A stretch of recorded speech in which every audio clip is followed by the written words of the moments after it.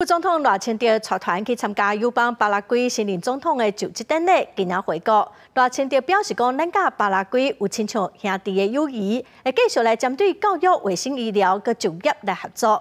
针对中共呛声讲要连续五天伫南海军事演习，嘛传出讲，即马美国的军舰嘛已经伫台湾的东部外海出现咯。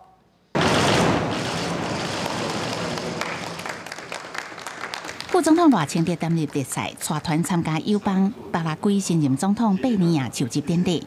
去的时阵过境美国纽约，回程过境美国旧金山，十八等来到国内。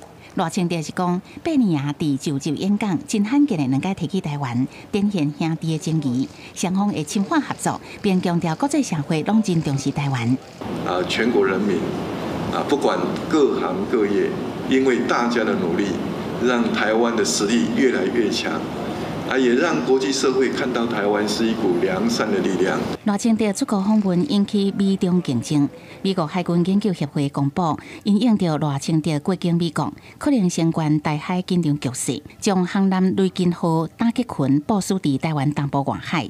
美国海军发言人证实，雷金号当伫西太平洋执行任务。不过，中共是放条讲会采取强烈措施来反制赖清的出口访问。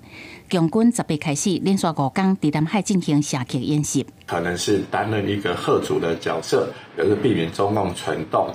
第二个，也不排除类似呃这个裴洛西在八月访台的时候，啊美军也是派出航舰啊在啊近邻近的水域进行待命啊有这个护航的味道。国防部表示，中共演习范围属有近化。例行性的射击，国军运用联合监控，将压到情报资料。数据分分析，雷金号出现伫台湾外海，目的大家拢知影，爱阻止中共军事扩张、降低区域的风险。记者综合报道。